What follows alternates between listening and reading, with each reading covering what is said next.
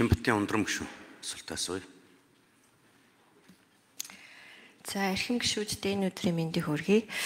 За энэ үйл ажиллагааны хөтөлбөр дээр түрүү бас ерөнхий сайд үгэндээ хэлж чинь дэлхийд өрсөлдөх чадвартай Монгол иргэдийг бэлдэх үндэсний сургалтын хөтөлбөртөө болно гэж зорж байгаа гэж хэлж байгаа. Энд бол одоо маш их баяртай байна. Энэ салбарт одоо насаараа 10 гаруй жил ажиллаж энэ салбарыг төлөөлж одоо өнгөрсөн 4 жилийн хуралд соосон хүний хувьд а тэгээд энэ дээр би бас нэг санаа завсан юм. Энэ хөтөлбөр батлагдахаас өмнө сургуулийн өмнөх бас сургуулийн өмнөх боловсрол баг боловсролын хөтөлбөр боловсруулах ажлын хэсэг нь ингээ гарцсан ажиллаж байгаа.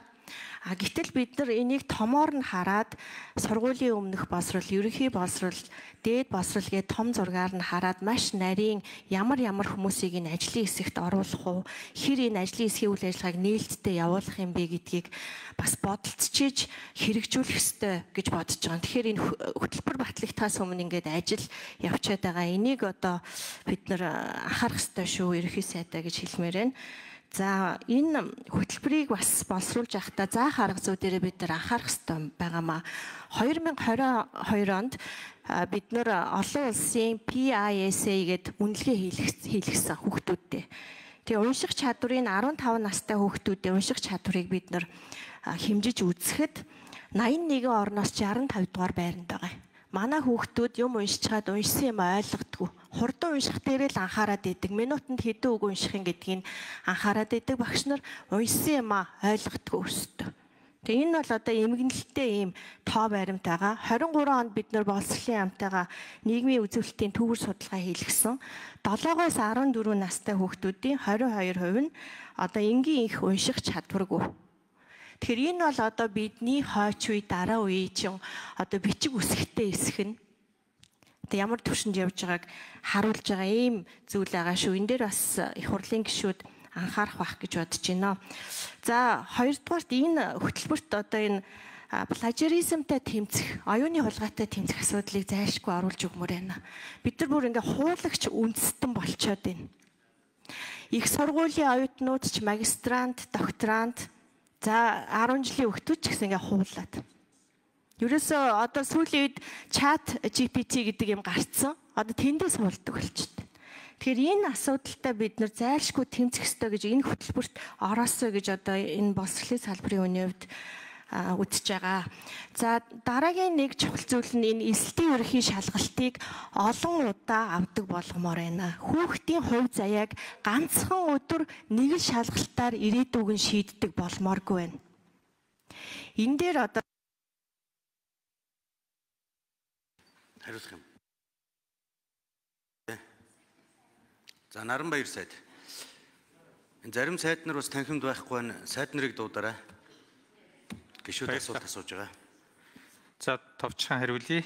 Тэгэхээр энэ а боловсролын ерөнхий хууль заасны дагуу энэ баг боловсрол сөөв буюу сургуулийн өмнөх боловсролын энэ хөтөлбөр боловсруулах сурах хүчийг одоо шинээр бичих ийм ажлын хэсэг бол хуулийн дагуу байгуулагдсан 254 хүнтэй ингээд үйл ажиллагаагаа явуулаад эхэлж байгаа. Энэ дээр бол одоо нийт бас энэ хэвлэлийн компаниуд хувийн хвшлийнхэн судлаачид голлож боловсролын судалгааны үндэсний хүрээлэнгийн яг судлаачид голлож ингэж ажиллаж байгаа. За энэ үйл ажиллагааг эхлүүлэх нь бүх юмд бол ил тод нээлттэй явж байгаа. Харин боловсруулж байгаа энэ үйл явц бол өөрсдөө боловсруулаа гарч ирээд ингээд явсныхан дараа бид нэг жил ингэж туршиж үзэх юм аа. 100 сургууль дээр туршиж үзээд тэгээ үндэсний хэмжээнд гарч байгаа энэ юугаа бүгдийг ингээд зассны дараа энэ юм хэрэгжүүлж эхлэн түүний дараа бүрэн дунд боловсрал буюу тэр дунд сургууль, ахлах сургуулийн хөтөлбөрүүд ингээд шинжлэхдэх ажил ирэх жил явагдана. Ийм одоо байгаа. За тэр унших чадварын асуудал бол үнэхээр үнэн. Тэгээ PISA-гийн шалгалтаар бол 65 дугаар байранд орсон. Ийм учраас энэ удаагийн энэ сурах хүчгийг болон одоо хөтөлбөрийн шинжилтээр унших бичгийг сэргээж оруулж ирэх энэ асуудлыг бид нар хөндөж байгаа. Унших чадрыг нэмэгдүүлэхийн тулд сурганы арга зүйн тал дээр ч гэсэн анхаарах зүйл их бий. Э, миний зүгээс ч гэсэн бас э, э, багш нарт хандаж хэлж байгаа тэр минутын дуржигт л уншдаг уншлагыг бол биш ойлгож уншдаг ойлгосноо өөрөө ярьдаг тэрийгэ хэрэглэж шин мэдлэг бүтээж чаддаг ийм хүүхдүүдийг гаргаж ирэхтэр онцгой анхаар ёстой гэж үзэж байгаа. За мөн одоо сурагчиг нь өөрөө ялангуяа 1-с 5 дугаар ангийн хүүхдийн сурагчиг бол өөрөө AR-тай өөрөөр хэлбэл QR кодтой шууд ингэж хавсарч ажилдаг ийм сурагчгууд гарч ирнэ гэжсэн ийм хүлээлттэй байгаа. За тэгээд тэр 22% нь бол эхийг энгийн эхийг уншаад ойлгох чадвар гэдэг бол үнэхээр амар тоо. Тэгэхээр энэ бол одоо баг сургуулийн яг энэ боловсролын гол зорилго бол уншихад чиглэх ёстой гэж бодож.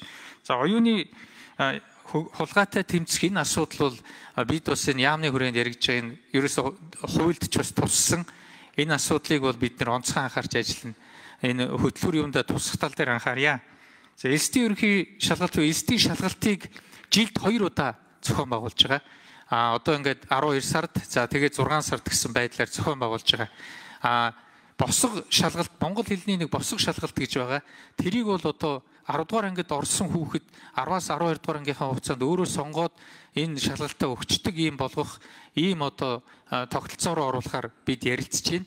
А олон дахин зохион байгуулах нь бас чухал. Гэхдээ цаана нөгөө төсөв их явж идэг учраас энэ одоохондоо бол жилдээ 2 удаа зохион байгуулж байгаа. За баярлалаа. За ундрам гүшүүн тодруулга энэ 254 үнэтэй ажлын хэсэгт чинь хэвлийн компани орж яах юм? Тэр чинь нэгэнд боловсруулсан ямиг хэвлээч гээл ихээ бэлтгүүлэл хэвлүүлж тэнд хувийн компани ирэх ашиг орчих юм биш үү? Тэгэхээр энэ дээр энэ ажлын хэсэг бол Монгол улсын ирээдүй болсон хүүхдүүдийн тарих толгоонд юу бичиж зурх юм бэ гэдгийг шийдэх ажлын хэсэг шүү Наранбаяр сайда. Тэгэхээр энэ дээр хэн орох уу? хэн орохгүй юу гэдгийг та маш нарийн зөвлөлдөж ганцаараа биш ерөнхий сайтай засгийн газраараа ярьж иж шийдэх ёстой шүү. Инээс чинь үүдэж та бидний хүүхдүүд юу сурах юм бэ? Эх орондоо одоо хэр хэмжээнд хайртай хүн болохын түүхээ мэддэг хүн болох юм уу гэдгийг шийдэгддэг. Тэгэхээр энэ дээр анхаармаар байна. Тэгээд туршиж үзнэ гэдэг чи яг ямар учиртай юм бэ? Хинэн тэгээд туршилтын туулаа болж өгөх юм? Ерөнхий сайд хариулах. За ерөнхий сайд хариул. За энэ дээр банк орооны дарга сайд хоёр маань хамтарч ажиллах асуудал.